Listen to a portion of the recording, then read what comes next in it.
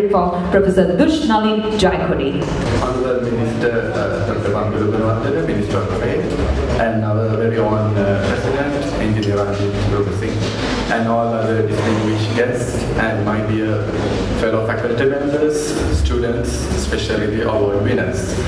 So we all gathered here in this evening to celebrate remarkable achievements made by our faculty members in the year 2019 in their respective field of research and innovation. So, as a tangible proof for your achievements, shortly you will be receiving a certificate from our distinguished guest. And the knowledge, especially that you created through your research and innovation activities, will definitely make an impact to the Sri Lankan socio-economy. And the, um, I mean, we believe that the knowledge is the power. So SLTC is um, making an opportunity for all our homegrown researchers to showcase their talent. So this evening we recognized your international achievements that you made over the last couple of years. So uh, we have a number of awards that are planned today, going from the faculty and also to the students as well. So uh, uh, at SLTC, what we believe is, as the consigliere mentioned, uh, we are trying to be the best research-based university, and it is not an easy task. It is really, really a difficult challenge. So when you walk around the campus, you always see the word challenge. So our mission is to challenge, and uh, we want to challenge the status quo.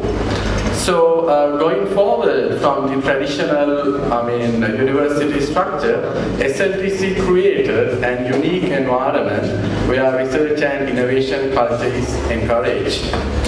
So, uh, for example, at our university, I mean, as many researchers believe, we do small things, but important and uh, part of something bigger. So, for example, I will just highlight few things that we do. And my colleague, Dr. Nanda Gunawardena, he works with really small things, like a nanomaterials, and he look at uh, energy harvesting from, uh, you know, nanomaterial, and also looking at the lithium-ion batteries. So uh, similarly, for some of my colleagues here working on the seepage problem, Seepage problem is something that is um, really unique for the building structures that can create you know, the bacterial or fungus effect and would drive to I mean, various um, I mean, allergies of the household. So we have developed a model, one of our colleagues, Dr. Uh, Tushara Madanayaka, and so we do some small things and one of my PhD student, Hassan Haider, came up with a, a machine learning model that can use you know, for the drones, especially to support disaster resilient application. So since we have a lot of, you know, I mean, uh, uh, challenges that we face in, in the world, I believe uh, these, I mean, the university being very responsive. So this evening we will be celebrating number of award categories, going from Outstanding Research Award for uh, research publications, and our very own um, seed funding project that we just completed, that is to provide the initial ground for our faculty members. And also we also, I mean, acknowledged the uh, performance made by the faculty members in publishing highly impact factor journals and attracting grants. Uh, in addition, we are also at postgraduate school. We are also very much interested in undergraduate research as well. So in, in this evening, we will celebrate number of achievements made by our undergraduates. Especially, we presented five um, student groups at World Innovation Expo, and we will be awarding, you know, I mean, they received uh, five awards from the World Innovation Expo in Indonesia. So we will be also recognizing them. In addition, um, this year we have actually organized quite interesting project. We call it uh, Let's Read.